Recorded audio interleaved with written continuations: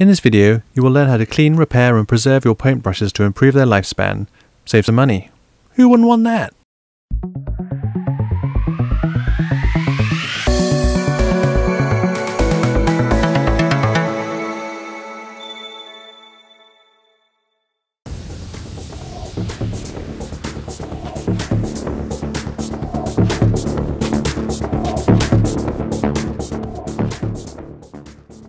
So I've got a selection of brushes here, each with a different problem. If you have one or more brushes that needs restoring, I've left some time codes in the description that might help you with your specific problem. So these are the brushes that we'll be resurrecting today, and hopefully they cover most of the bases. We've got splayed bristles, misshapen bristles, dried acrylics, dried oils, and stained bristles. So this is the main product that we're going to be using today, the Masters Brush Cleaner and Preserver, made by the General Pencil Company in America. This is the 1 ounce version. Links to get some in the description below. This is not a sponsor video, this is just a good product that I recommend as you will see. Uh, it's basically a soap specifically formulated to clean, preserve and restore your paintbrushes.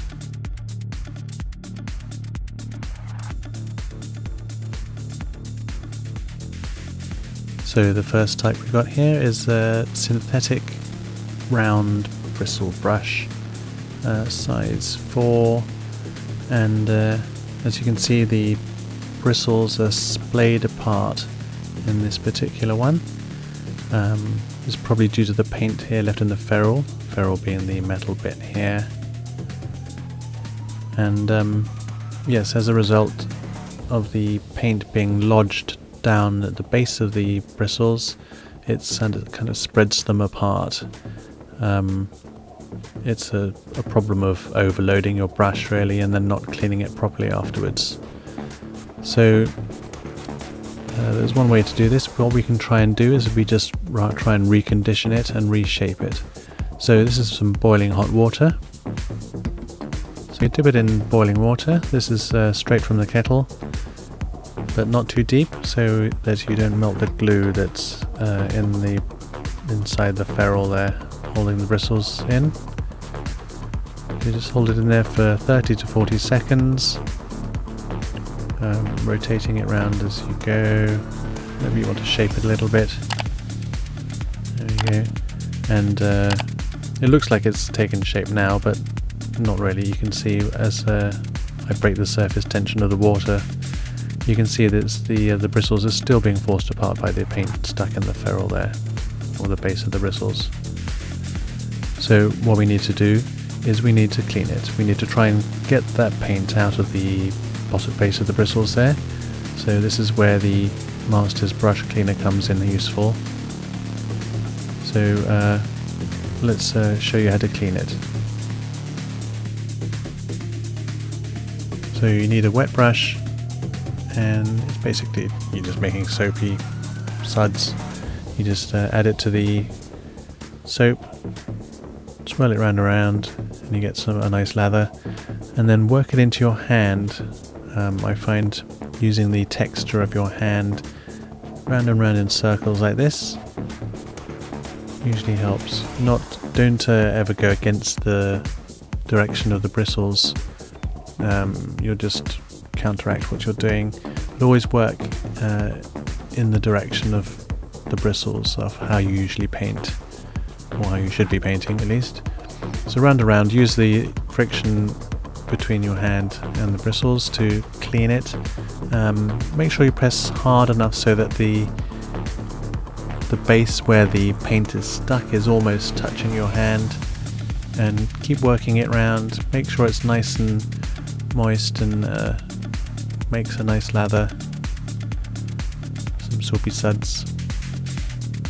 I sped it up a little bit in places here just to speed up the process because uh, sometimes it's probably a bit boring. So here we are. So we've got the um, bristles full of soapy suds now. And you just massage it and um, tease it into into place, into shape. Try and See, I'm noticing I'm, I'm pulling it backwards here and rotating it as I go. and just trying to get that conical shape back again and uh, trying to encourage a lovely nice point at the at the tip.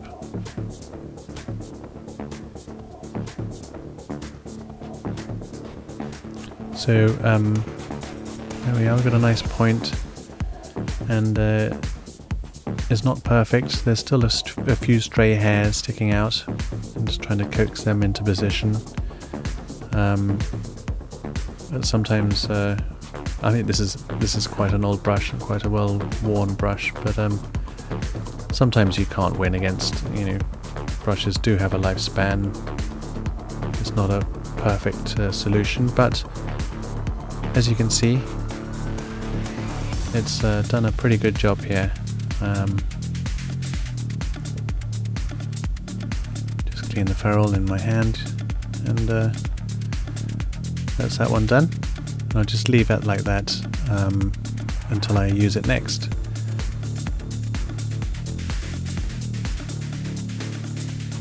As you can see, it's got rid of most of the paint down the base of the bristles. Um, there are there is still some left there. Um, if you find it doesn't get rid of it, just repeat the process until you're happy and satisfied as much as you like. Alright, let's move on to the next one.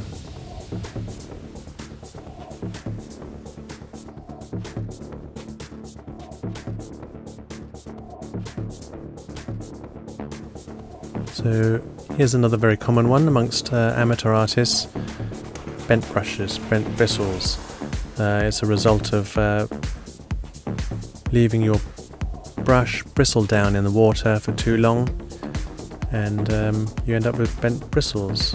So again with the first one we're using hot water straight from the kettle and we're going to try and get some of that memory from the original forming when it was made in the manufacturers back again into back into the bristles and uh, just like the first one again we're going to use the Masters brush cleaner and preserver. And getting it nice and wet form it into lather and then work it into your hand.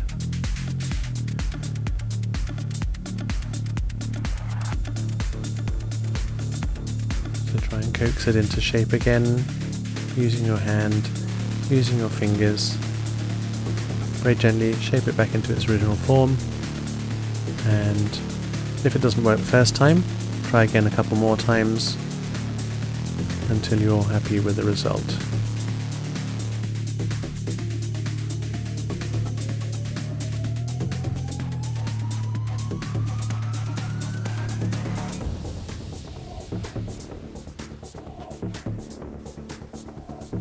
So another very common one is uh, dried acrylic on your brush and your brush dries completely solid. We use a secret weapon in, in addition to our master's uh, thing. We're going to use glass cleaner. Swirl it around and around. There's something in glass cleaner that acrylic paint just can't resist against.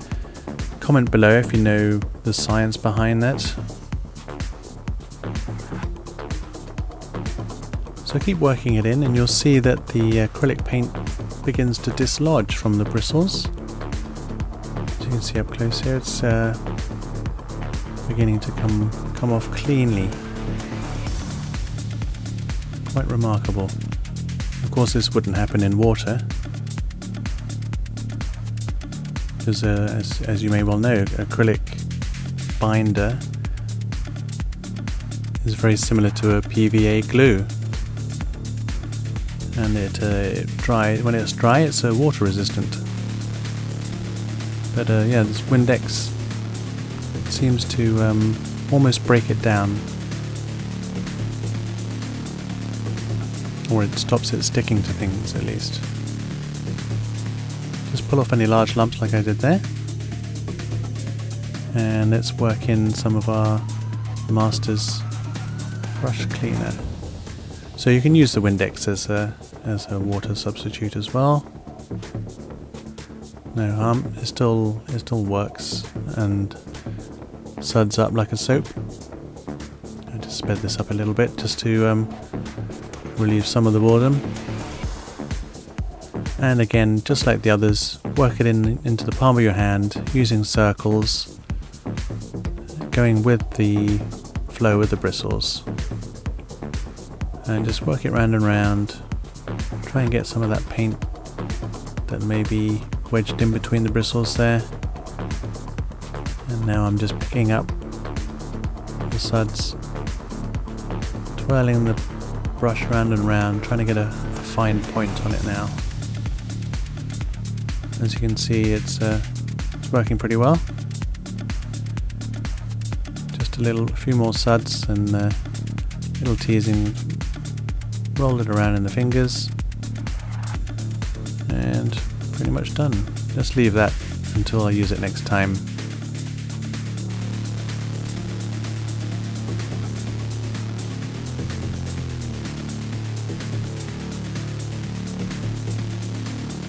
Okay, so supposing we have an oil painting brush that's been left to dry.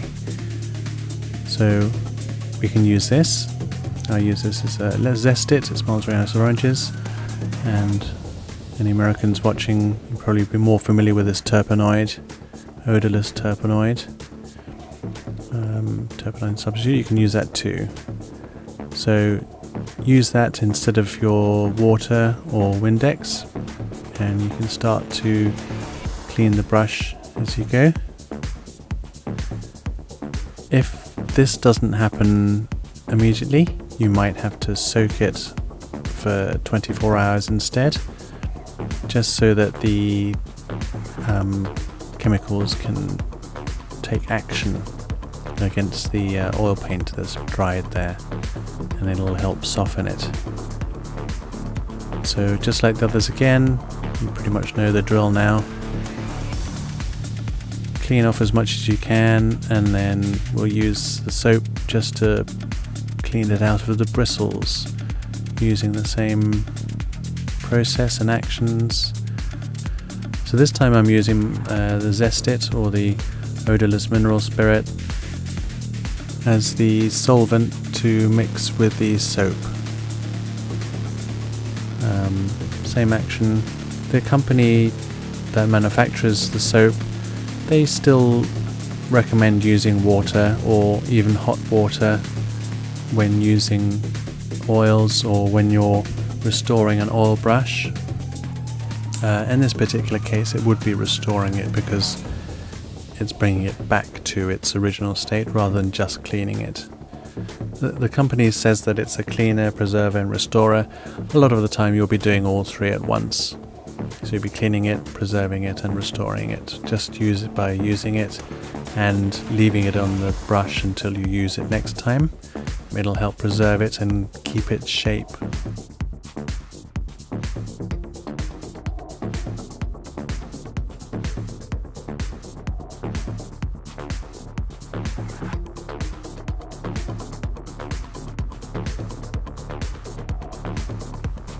This type is uh, stained bristles.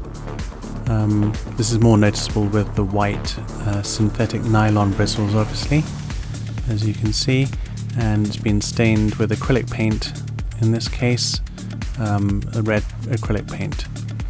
Um, reds and blues tend to stain the most because they're quite potent pigments. So as I know this is acrylic, we're going to be using our good old friend Windex to clean it. And you'll see the immediate effect uh, the Windex has on the acrylic paint in the brush. As you'll see the Windex slowly turning purple. As we know the red added to the blue makes purple.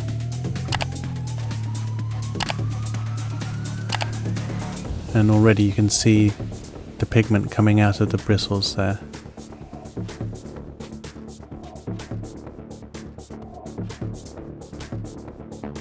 but it's still not effective enough, so let's give it a clean with our good old The Masters paintbrush cleaner and preserver. So same old routine again.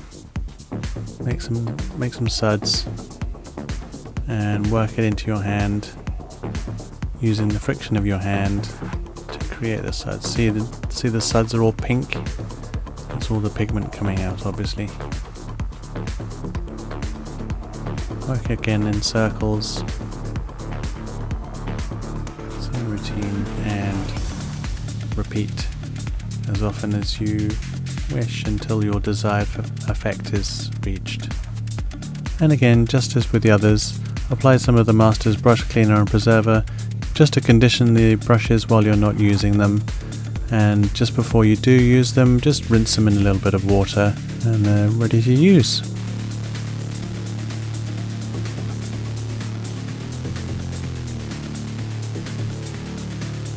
So as you can see from the before and after pictures here, the Master's Brush Cleaner and Preserver is, is a very effective tool to help preserve your brushes and to save you some money. Thanks for watching and see you next time.